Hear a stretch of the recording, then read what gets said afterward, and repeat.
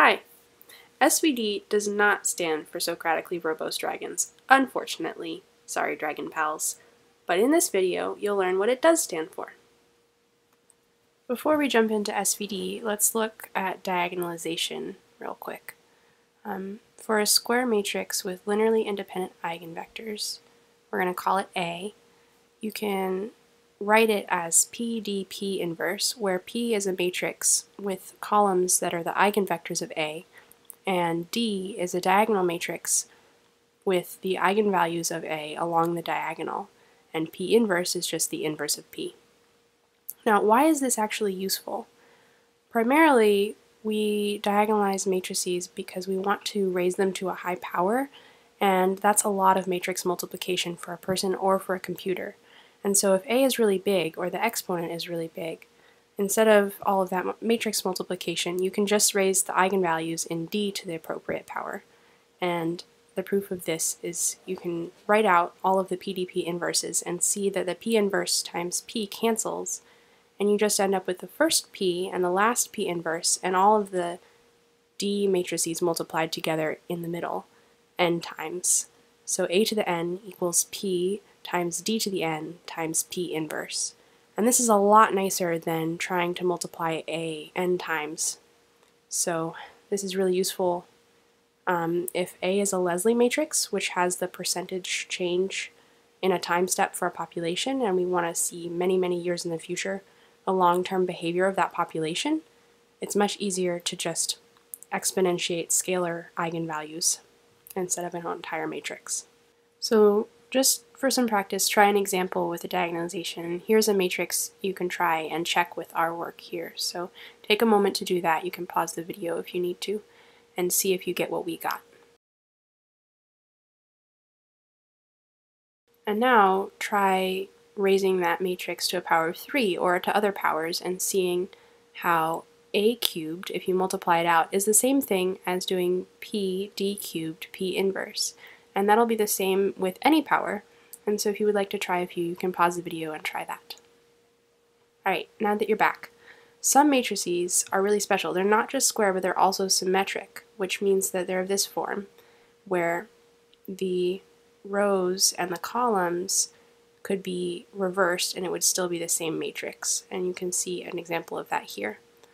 And we have a matrix S that's symmetric and square. And we're going to find its eigenvalues and its eigenvectors, which you can see here. And you can be doing this along with us or you can just believe us. But here they are. And now these are actually really special eigenvectors. They're linearly independent, which is really great, and they're orthogonal, so they're perpendicular. And if you don't believe us, we'll show you. So we can show that by taking dot products. And if you know about dot products, uh, orthogonal vectors will have a dot product of zero. And so we've done it here. v1.v2 is 0, v1.v3 is 0, and v2.v3 is 0. So they're all orthogonal to each other, which is pretty cool because that's a very special sort of basis that has three orthogonal eigenvectors. Unfortunately, we're not quite done. We need not only orthogonal eigenvectors, but they need to be orthonormal, which means they're also length 1 to do SVD.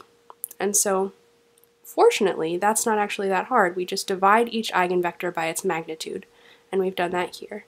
And we get these new eigenvectors. They're pretty cool because they're orthogonal, but they're also really going to need to be orthonormal for SVD. So we're going to need to divide them by their magnitude, and we've done that here. So they need to be perpendicular, which is orthogonal, and normal, which is length 1, and we smash those words together into orthonormal.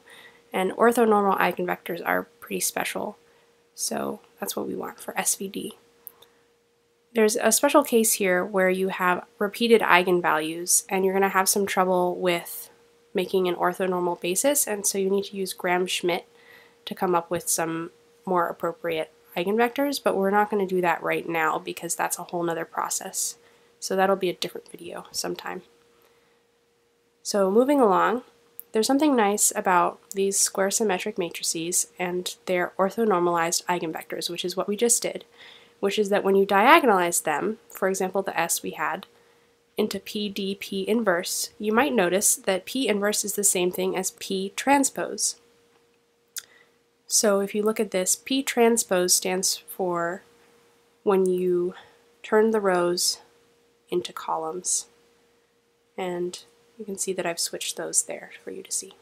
The fact that P inverse is P transpose in the case of orthonormalized eigenvectors of a symmetric matrix, that's a special case, is really convenient for diagonalization because instead of finding the inverse, we can just take the transpose. So, to diagonalize a square symmetric matrix, we just find its eigenvalues and eigenvectors, divide the eigenvectors by their magnitude to normalize them, we put the eigenvalues into D along the diagonal and the eigenvectors into P as columns, we write P transpose, and we can just diagonalize it by saying that S equals P D P transpose. It's really important to remember, for later steps, to put the eigenvalues in descending order. So put them along the diagonal from greatest to least, and make sure that they're still with their corresponding eigenvectors in the right space. So if you move an eigenvalue, you also need to move its eigenvector. Now, what if the matrix isn't square? What do you do then? That's terrible. Don't worry, we've got a solution. It turns out that even if A isn't square, A transpose times A and A times A transpose are, and they're symmetric. If you don't believe me, I'll prove it. So here we have A, it's M by N, and A transpose, which is N by M. And if you multiply A transpose times A, you end up with an n by n matrix, and if you multiply A times A transpose, you have an m by m matrix, and those are both square. And you can try an example if you don't believe me still. We can also show that A transpose times A and A A transpose are symmetric just with some matrix multiplication. So you can see I've written them with letters, and this looks really big and complicated. So if you are more comfortable with numbers, you can just try some number matrices.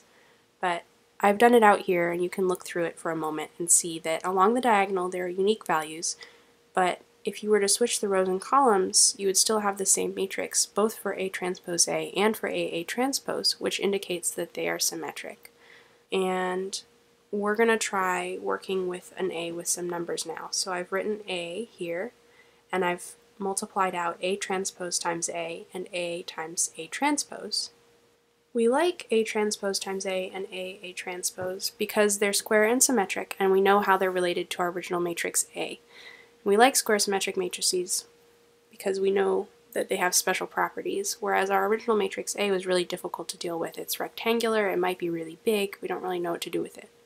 So we're going to orthonormally diagonalize A transpose A and A A transpose, which is what we did before, where we divide the eigenvectors by their magnitudes.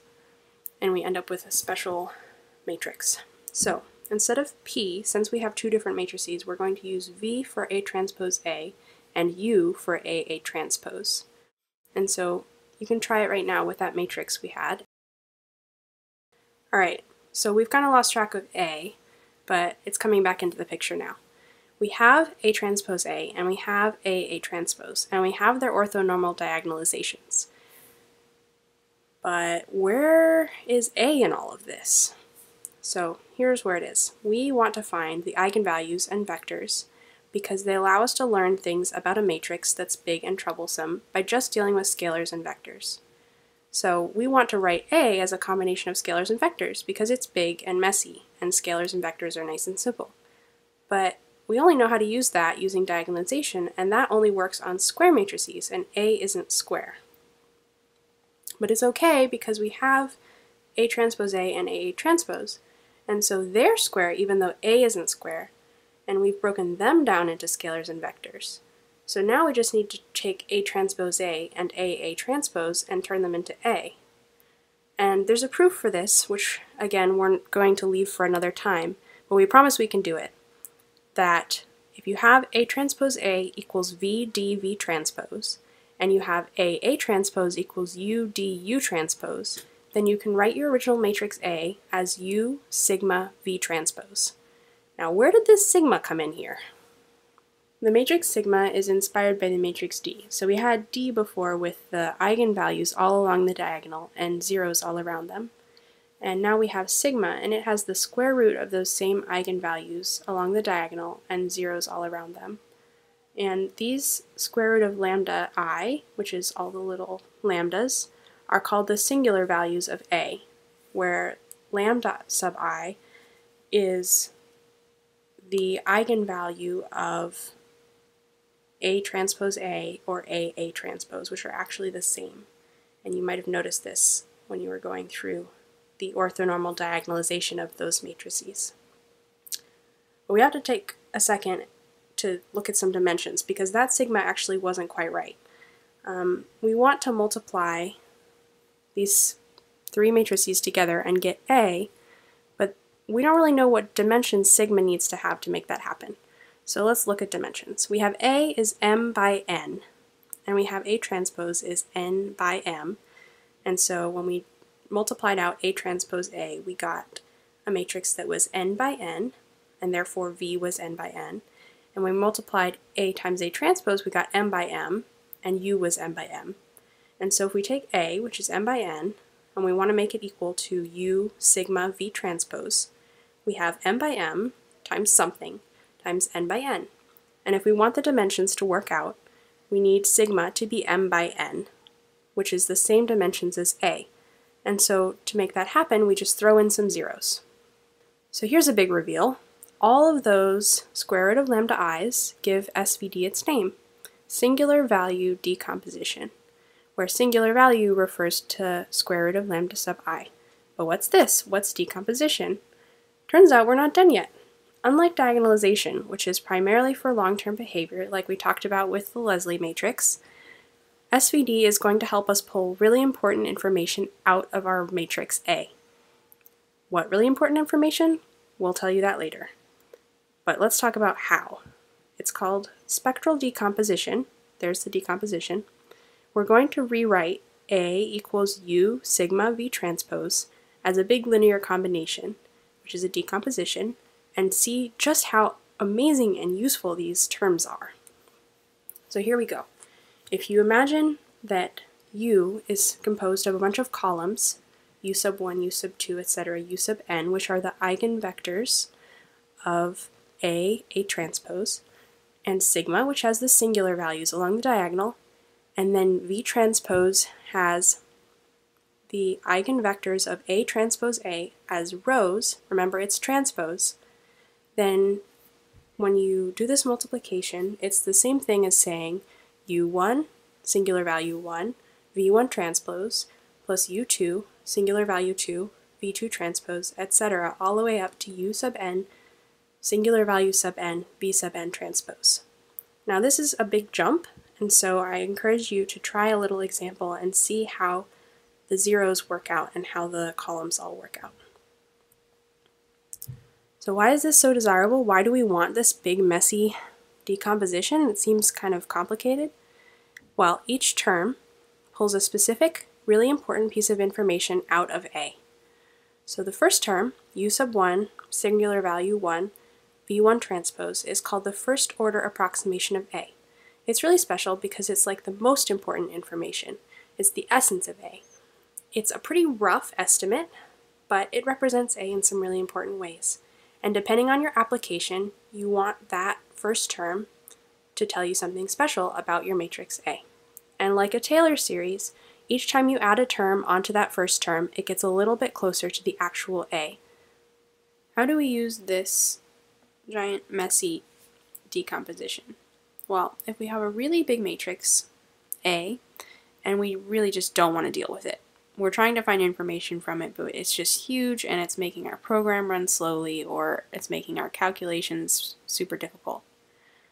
For example, an image can re be represented as a matrix in which each entry gives information about one pixel. So it'll be the color of that pixel, for example. And you can imagine that for a nice image, this makes a really big matrix. And here's where SVD comes in to the rescue. Imagine you have a 512 by 512 picture, that's 512 pixels on each side, and therefore you have a 512 by 512 matrix with 512 eigenvalues and 512 eigenvectors. That's a lot of information.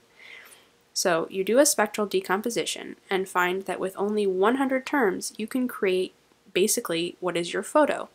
So you don't even need those other 412 terms. You have a pretty good version of your photo just with 100 of them.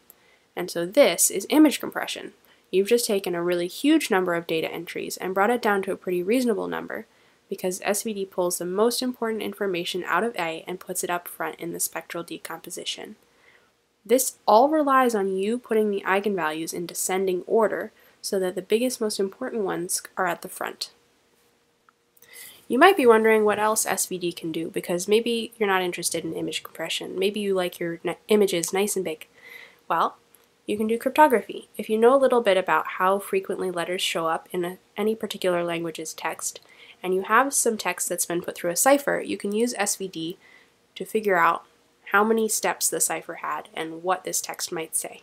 You can recommend things like Google or a librarian.